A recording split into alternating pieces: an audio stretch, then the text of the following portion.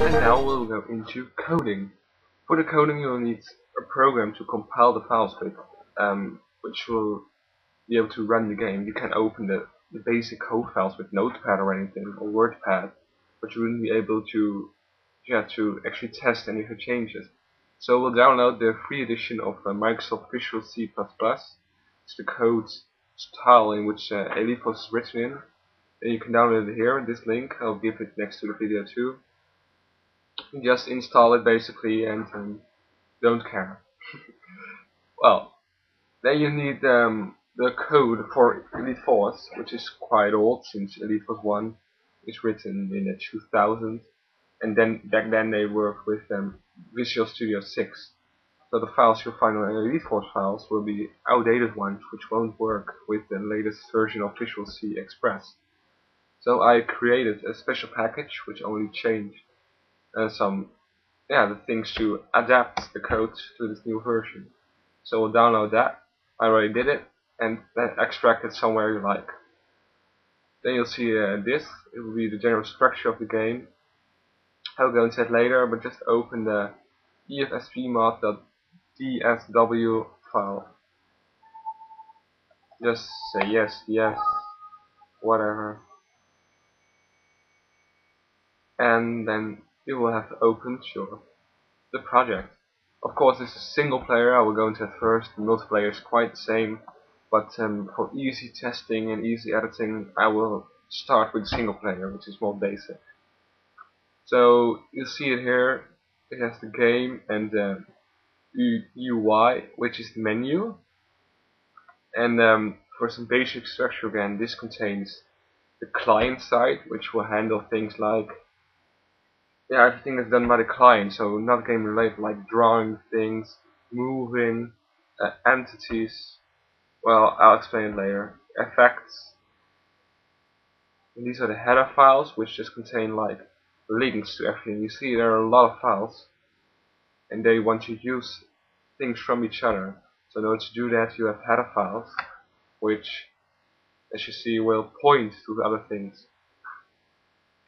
I know it sounds a bit difficult right now but will become clear to you later. But just I'm just giving you a head start on the moment. So here you have the, the Icarus which will not be very important. It's a very complex code just about running scripts which we don't want to change. The most important things would be these, the source files. Um, as you'll see, these are things that will actually change the game. So if we like open G weapon, let's give a weird example. Um, well, if you browse through it, I don't think this will make any sense to you. But even, you'll notice that even for beginners you can change things. Like you say, um, well, I want to change something with the compression rifle. Then we go look for compression rifle. And presto, here's the compression rifle. And we see that they made it quite easy for you, like the damage is stated in separate things above. So this would be the spread, so the randomness, this would be the amount of damage you actually do. This won't make any sense to you, it, it doesn't really matter. Like here, so IMOD and stuff or scavenging which you can even change a lot more. Spread, velocity, damage, ease, damage, damage.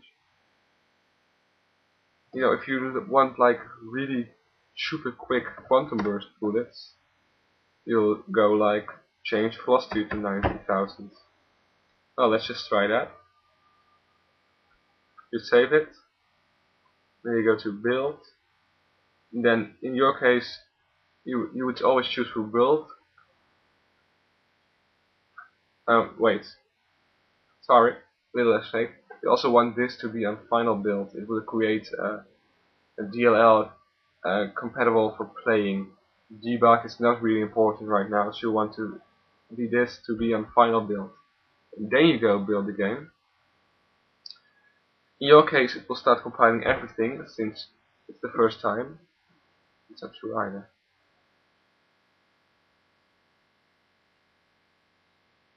Since my pack includes the object files already, which are needed. But normally you would have to build everything. If you change the header file, you would also need to change everything since the interrelated things change. But now it's already done.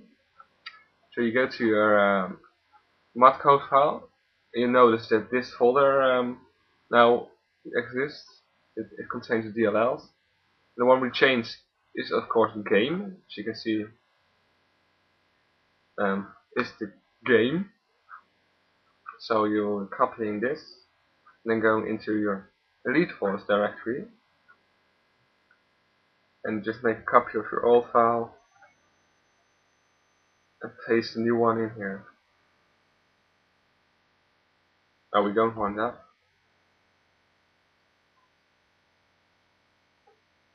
Paste the new one. Oh, it's really working with me. Oh, there it is. And if you now would start the game, which I'm not going to into, um, you would get really fast photon torpedoes. You really see it. So that's a bit of the basics of coding. Next episode I will go into how coding works. So a bit of a swift course on how C works.